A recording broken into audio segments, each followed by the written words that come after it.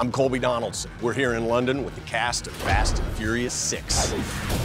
Give me a solid, educated guess. How many cars get demolished in this film? About 250. I'm gonna say 300 plus. I think it'd be in the hundreds. Damn.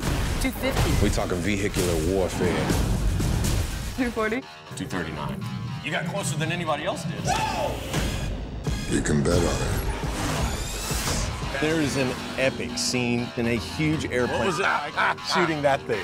Man, it was crazy. To really capture all the scenes inside, the whole set would move. It was very dangerous. Do you prefer to kind of do your own stuff in that? I end up doing probably more stunts than I should.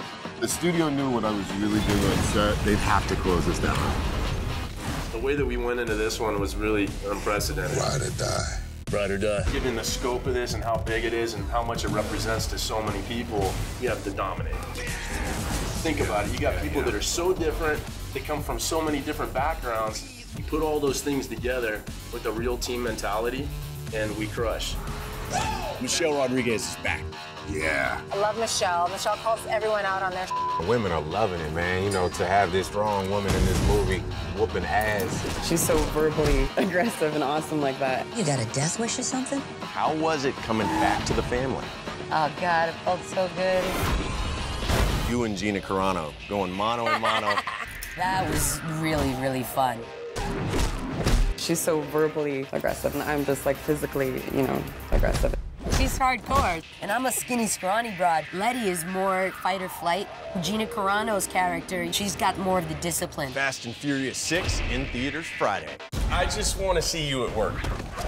It's not as easy as it looks. You don't turn your back on family, even when they do. Pretty cool to be able to shoot a movie 13 years later and have everybody there from the original cast. It's rare that you have these long-standing rapports with people that you love. You got a death wish or something? That's what it takes. We're forced into this family dynamic, and then after a while, it takes hold. I'm just glad as a black man I didn't die in the sequel. That family is what it's all about. How's the life of a retired international criminal?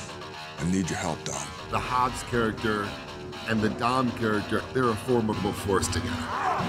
He's playing on the other side right now. So now we work for the Hulk? Dwayne will kick your ass. He's a giant, muscular teddy bear. So huge. Damn. There's a tank in this movie. Yeah.